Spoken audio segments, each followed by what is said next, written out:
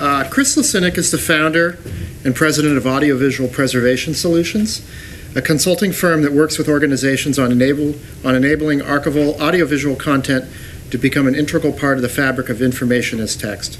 Chris believes that this idea is crazy enough that it just might work. Uh, AVPS's clients include Indiana University, the Library of Congress, HBO, the Rock and Roll Hall of Fame, and many other organizations. Chris has been an adjunct professor, at NYU's Moving Image Archiving and Preservation Master's Program since 2005, subvers subversively integrating audio into courses that he has co-developed and taught, from basic issues in training to digital preservation. Uh, Chris's recent R&D work has included several things. Uh, the development of an open source software ap application called BWF MetaEdit, MetaEdit um, and leading the ARS Technical Committee study on embedded metadata, and also uh, studying and publishing on the issue of di digital audio interstitial errors, which is the topic of today's discussion. Please welcome Chris to the podium.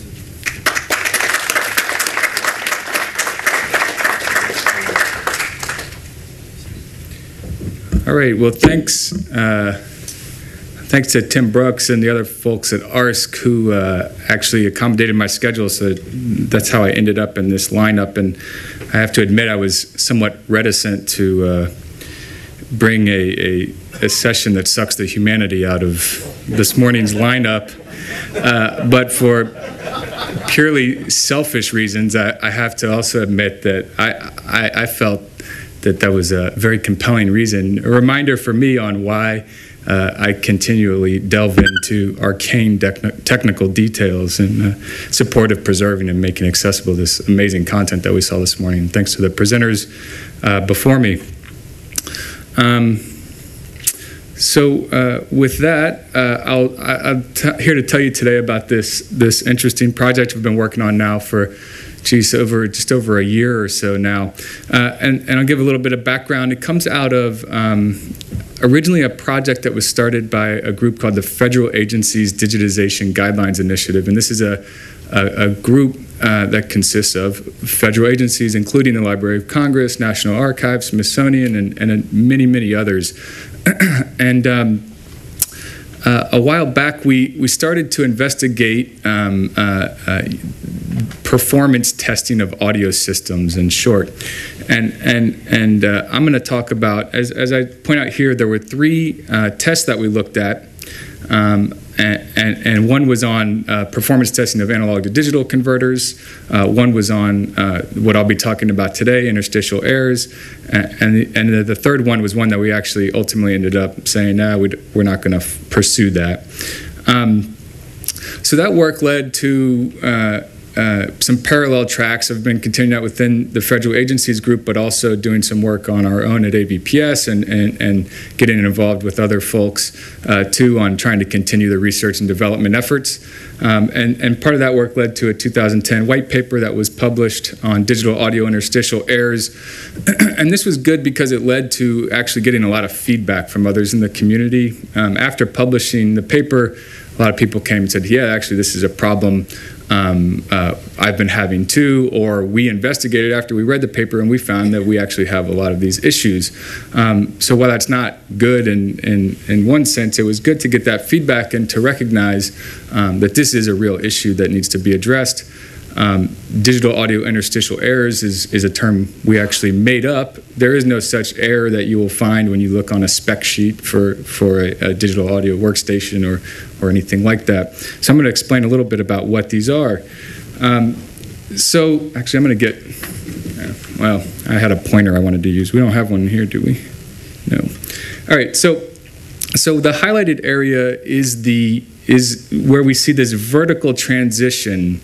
Um, actually, what the represents is is a gap, a, a, a missing samples. Uh, a normal waveform should not look like this. We should see how it looks before and after this, this vertical line um, is what we would expect a waveform to look like. That's a more natural looking waveform. So where we see this sharp jump, uh, uh, uh, sharp transition, is, a, is an area where um, essentially uh, the digital audio workstation is, is recording and writing uh, the information to disk. Uh, there's a system allocation uh, uh, resource allocation error where uh, the system, let's just say, gets distracted, loses information, the buffer within the system uh, uh, uh, fills up or overloads, stops writing to disk, and then returns at some point and continues writing. So, so what we're missing, we're actually missing content uh, uh, in in these, and this is what it looks like. These are all various ones, and, and this one was sent to me by Mark Hood, actually, who's in the audience from Indiana University. This is a quite a bizarre one. It's it's kind of hard to parse exactly what's going on here. It looks like successive. Oh, let me just. So so these are somewhat. You can notice that the transition on the on this one is much larger than this one, for instance. And this manifests as a click or a pop in a recording, and it can be uh, very short. Uh, and it can be as there, we've heard incidences where it's as much as you know missing syllables in words and, and things like this. So, but but these are hard to uh, to hear. People don't generally hear these while they're listening, uh, even if they're listening uh, uh, to the digitized version. And I'll talk a little bit why that is. So this is an example where we we actually uh, had a recording that we digitized. We found we found an interstitial error. We went back, redigitized, and we we wanted to document how many samples uh, were missing. So. Uh, uh, in the way of, of system processing, we noticed that this is where a pointer would be handy. Uh, I'm just going to stand. So, so this area here is what's cut out of this section down here. So if you see this waveform is this waveform here, and it picks up again right here. So everybody, does that make sense to everybody? So this section, so this is the one with the air, this is without the air. So there we're missing about 512 samples of the recording, uh, uh, which which rep, while while not a lot, and, and when we think about you know a 96k recording where we have 96,000 samples per second, it's it's it's not necessarily a lot. However, this is missing content. We can think of it as equivalent to having sections of a tape cut out. Um, and, and in the context of authenticity and integrity and, and, and, rep, and a faithful reproduction of the original recording, uh, pose it to be problematic. Um, and we could have as many as many of these as you might have uh, one uh, uh in a week. You might, have, you might have none in a week. You could have hundreds or thousands in a week. Depends. This is the, the nature of the problem is that it's intermittent. It's a system resource allocation issue. So as uh, th- the environment being the, the workstation, as the environment changes over time, uh, uh, different software updates are performed, things, different things are going on in the network, uh, just different ways of running uh, your digital audio workstation. Uh, you can come in and out of these errors. So you could not have problems for months or years, and then all of a sudden hit a hit a major uh, problem until you find it and resolve it. I'll give you an example.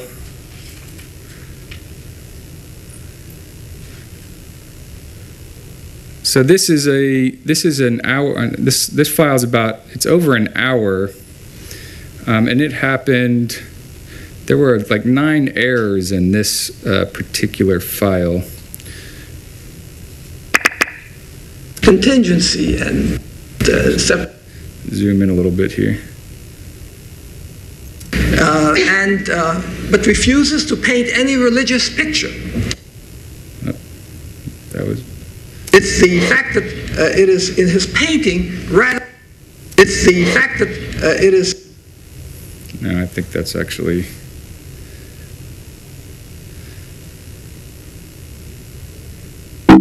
My mistake. I mismarked the place. So. Ah, shucks. All right. Well, I'm not, I don't want to take the time to hunt it down. I dropped a time marker in the wrong place. But it sound, I'll play another example in a moment here. And it sounds uh, like a click or a pop. And that example that I was going to play, there's actually multiple that happen in succession within one second. So we have multiple gaps within a second period that manifests as a, a fairly notable pop.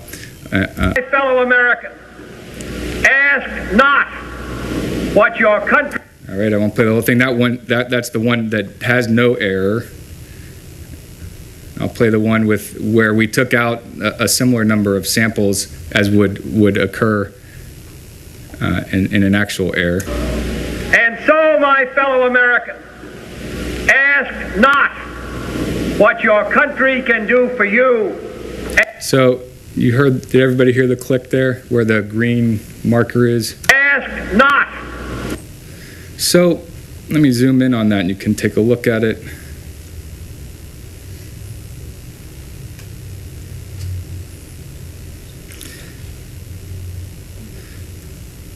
So if you can see, unsolve this, the difference between the waveform uh, in the healthy version, here, so that the air happens within this space. So there's a, there's in the lower one here, we see a, we see a loss of samples, and I've represented that visually here. So this is actually the missing area that was that was taken out. Now, when you, on a null test, what you do is you, have two signals um, that should be identical. You reverse the polarity of one and you sum them together. You should, when they are equal, what you will get is absolute silence. You should get nothing. Uh, and that's what we see on this bottom example. This flat line here is, is that nothingness, right? Um, and where the error occurs is where we get a blip in the in our in our in what we should expect to see, which is is is digital black. So we we've identified that click. It's very obvious, specifically and exactly what samples it occurred on by by by performing a null test on on these two uh, these two sources. Does that make sense to everybody? Everybody with me? All right. So so these are so far. This has all been, you know, this is an exploratory R and D project. Like I said, it's happened some within the federal agencies, some outside of the federal agencies. At this point, it's just there's a we've identified an issue. We're trying to uh, uh, uh, develop a solution and brainstorming on, on ways to approach that. So there was a recently, as part of the work within the federal agencies, there was a report published just in the past week that speaks to those three that suite of three tests that I mentioned in the beginning. Uh, digitizationguidelines.gov is where it's posted, and and there's that resource as well as a tremendous amount of resources on that website. I would highly recommend uh, going there. Um, uh, but but within that report, as far as interstitial errors is concerned, the the the we one of the tasks of the report was to outline what is the work plan for getting to uh, getting to a solution.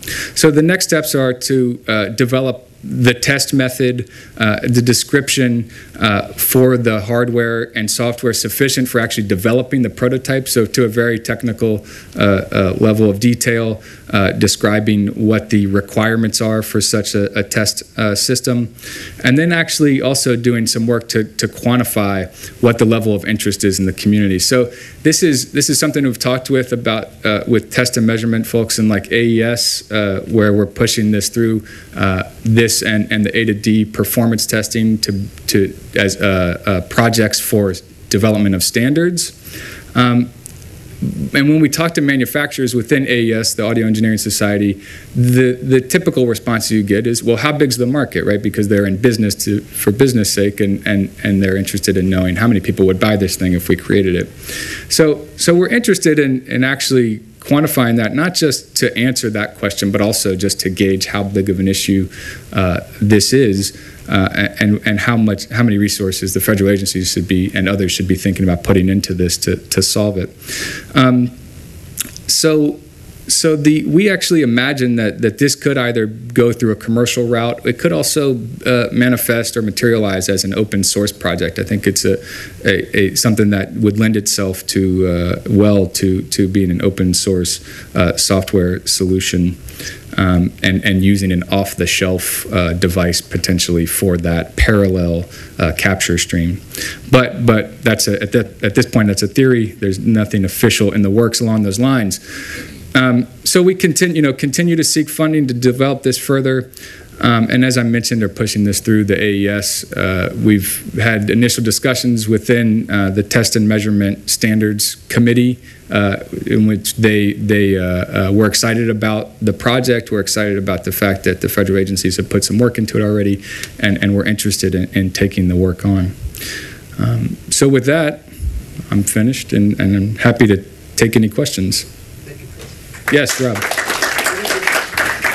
We're- We're heading into break time, and I, I- this is an interesting topic, and I'd like as many people to be able to ask Chris questions as possible. But if people need to scoot out for break or whatever, feel free to do so quietly, but yes, go ahead. Uh, The problem mainly manifests itself as missing data, correct? You're asking? Yes. Yes, it does. So your null test then, at the point that you hit a click, it's not going to be silent afterwards. Well, so so a key part of of both aligning at the head of to having a key part of the, and this is one of those details that goes into the. Uh, uh, the, the documentation for the prototype is an alignment tool. So that's that's critical for both the initial alignment at sample one at which you start comparison and then at each point at which you Right. encounter errors. You're right. That first part should be relatively simple. As soon as you get the first error, you're out of alignment again. That's right. That's right. output, That's right. So it requires realignment. Uh-huh. That's right. Um, Comment and a question. Yes. Dealing with multi-track when these things happen, since it is in the rights, it, it's on all twenty-four wave files Yeah. at the same time, so it's, it sometimes becomes really obvious. But, um, So you've seen this with 24 tracks across. Yeah. Is that right? Okay, well, that's interesting because we were looking at an alternative approach solution that would use a multi-track editor, but you, but the fact that you've seen that, yeah, I've seen it. and it just- Across all since- tracks, since- okay. that kind of goes to the point of the writing. Um, It's not the converter, it's Right. later, because it happens all the way down. right, So anyway, that was kind of where I was going my question. when you said okay. Yeah, thank you, that's good input, yeah. Sure. I mean, back in the old days, everybody said, oh, don't connect your DAW to the internet and Mhm. don't surf the web while you're, is it, is it as simple, as is a solution to prevent them as simple as that, or is this sort of something more basic going on in the computer that Yeah, so that's what I was talking about. The, and traditionally, it's kind of been reductionist in that way, meaning that you set all these settings, and there are best practices that we should all follow. It's a good thing not to be surfing the internet and to limit the number of applications and activities going on while you're digitizing. Those are all good practices. However, I don't think it's it's not sufficient to solve the problem uh, uh, that that exists. I think those, even when those, I mean, I've this has been experienced on you know high-end turnkey systems that follow all those rules, and these problems still manifest. They're less likely to manifest, but they still manifest. Yes. Do you see this as an issue resulting from uh, software that might be writing material, or is it a hardware issue based on the hard drive itself? Yeah, I mean, I really don't. I have. It's kind. That's kind of going down a rabbit hole in many ways. I think like we're trying to think systemically. It's a system issue. It's something that it's hard. It's really. It would be impossible to say. I think that the reality is is that these materialize from all sorts of different issues. It could be software. It could be hardware. It could be you know motherboard chips. It could be. It could network cards. Any number of reasons uh, that could be causing uh, these issues. Yes, Paul. Have you experienced any um, difference in operating systems on PCs and Mac? We haven't looked at that. We haven't looked at that specifically. My personal experience, this happens on PCs a lot. Yeah, well, people like to say that. I don't know. Uh, Mac guys like to say that. yeah, yeah, yeah. I know, I know. twice as many PCs as Macs in my facility. Yeah, yeah, no. Yeah. We have not studied that specifically. No. We have one more question? Um, As we've talked about this before, you kind of hinted that this is not a problem in video, but it is in audio. Is Not a problem in video. Uh, you mean with video signals? capturing video to hard drive as part of the archive? Well, there are no, there are issues, but they manifest in completely different ways. Like, uh, and they tend to be uh, uh, when when a when it breaks at that level within a video system, the system tends to fail. So let like so it's not it's not equivalent of say dropped frames necessarily. That's kind of a different level, uh, a lower level of issue within the video environment. But you can kind of think of that as being an equivalent. Thank you very very much. Yeah. If you have questions for Chris, I'm sure you can catch him later in the meeting. Great. Thanks, everyone.